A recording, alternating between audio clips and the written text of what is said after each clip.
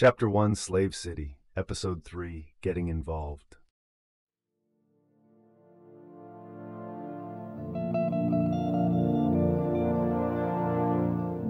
Humanity is dying.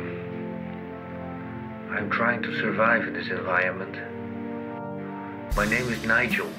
My friends call me Nigel Light.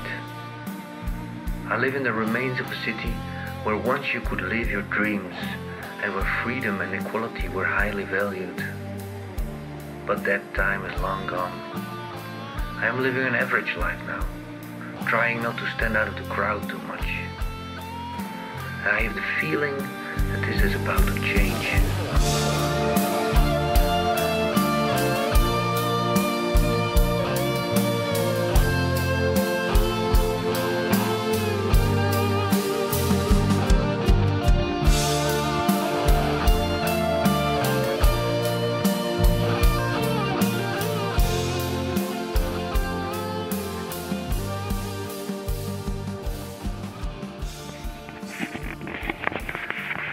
So the piece of paper.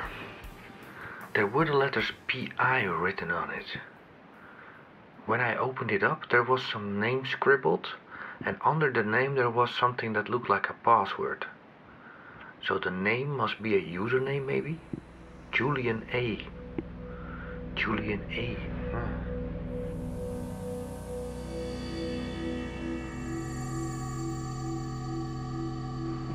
So then PI has to stand for private internet.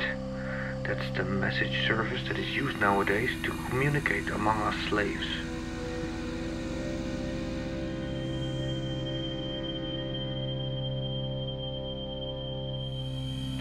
I heard stories about hacked accounts that are used to communicate secretly and anonymously.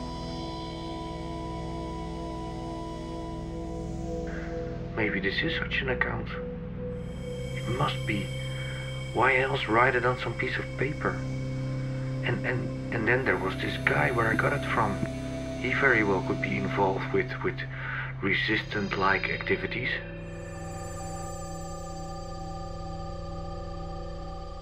So I decided to keep the paper and hide it. But I did not intend to use it in any way. However, what happened this afternoon might have changed my mind.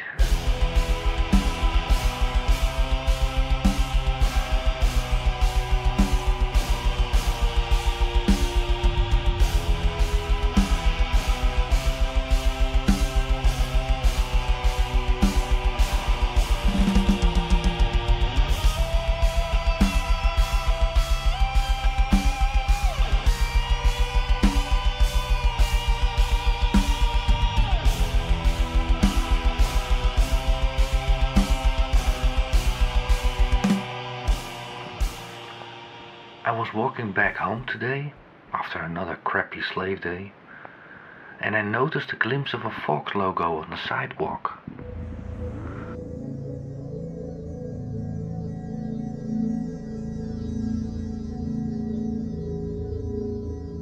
The Fox, yeah, it's a small but well organized group that have the balls to stand up to the oppressors. Sometimes you hear of an attack or some computer hack that they staged. Maybe for some this is very exciting stuff, but it is extremely dangerous.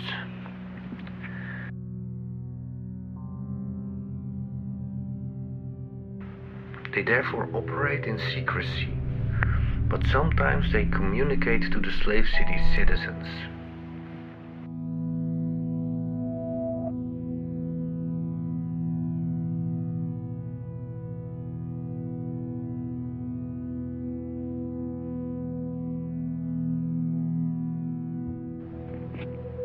They do that in different ways, with street graffiti or songs that you hear on the street, or with notes that they scatter throughout the city. You can recognize them by their Fox sign, the logo.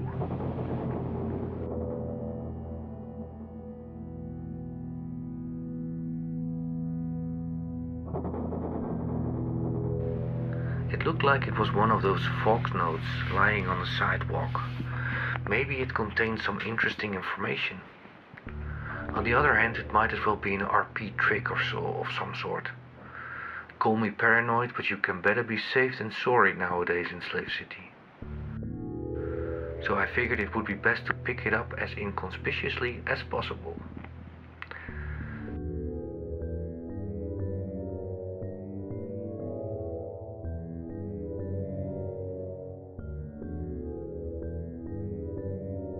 So after I ensured that no one was watching, I dropped my umbrella on the ground as if it was an accident, and then I swiftly picked up the umbrella together with the note. Brilliantly executed move, if I say so myself.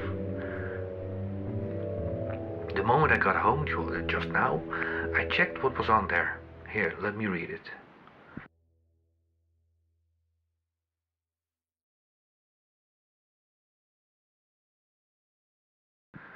Fellow citizens and friends, we discovered the government is holding back vital information that concerns us all. It explains the power outages we have been experiencing lately and the increasing lack of raw materials. All fossil fuels are practically exhausted. This means there is not enough energy to meet our demands. The problem has been played down in governmental circles. We fear not enough will be done to deploy alternatives to compensate for the shortages. Hmm. Prepare yourselves for an energy shutdown. Good luck to you all.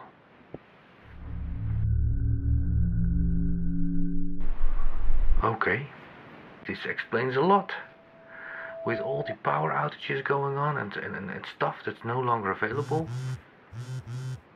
Wait, my slave communicator. I received a message.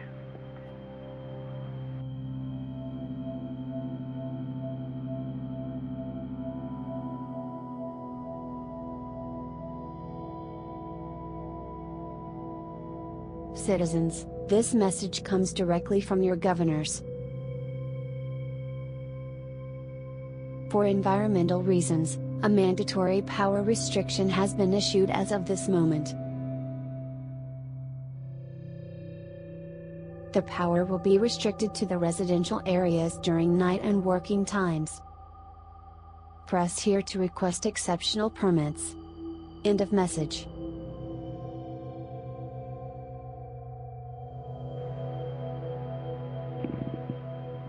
Wow, for me this is proof that those Fox people know what they are talking about.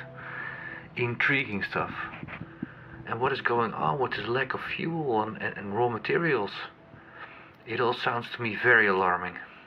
It's frustrating that our slaves are totally kept in the blind. Yeah, maybe I should try to find out more about what the hell is going on. But how? How can I do that? Wait a minute. What about the paper from the poor guy that lost it?